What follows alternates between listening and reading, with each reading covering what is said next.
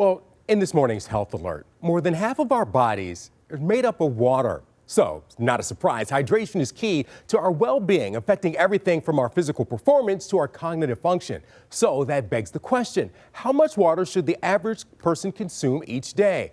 Well, it's a question that begs to be answered, but there are no easy answers because there are a range of factors that influence proper hydration. Nancy Unger and her personal trainer, Jay Mack, are hard at work at the battle ropes at the Beverly Hills Club. It's exhausting.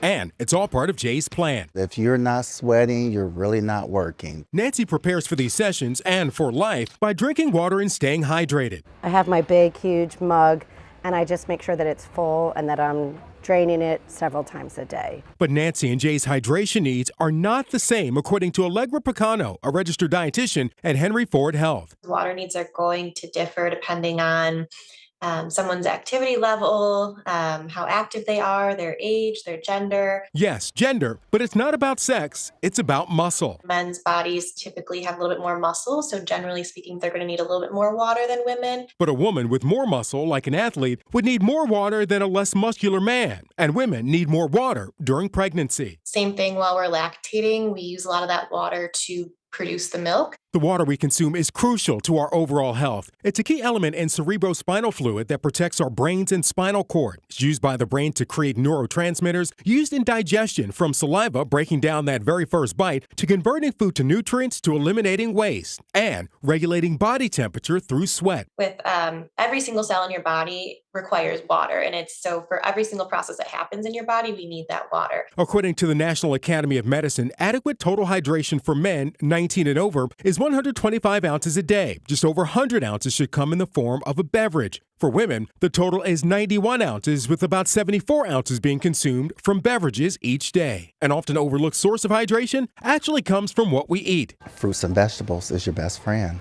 Even if you can't get water, oranges, apples. And yes, you can count your coffee, tea, and dairy. Low fat is best. Sports drinks count too, but they come with sugars and other ingredients that aren't as healthy or beneficial. Is alcohol fair game too? Does that count? Yeah, it absolutely accounts. There is some um, water in there as well, or can promote you to use the restroom a little bit more. Um, so as long as you're drinking water with it. Allegra says moderation is key. Back at the Beverly Hills Club, where Nancy is working up a sweat, proper hydration was once a goal, not anymore. Now it's just pretty second nature. Well, remember, our bodies know how much water we need, and they will send you signals.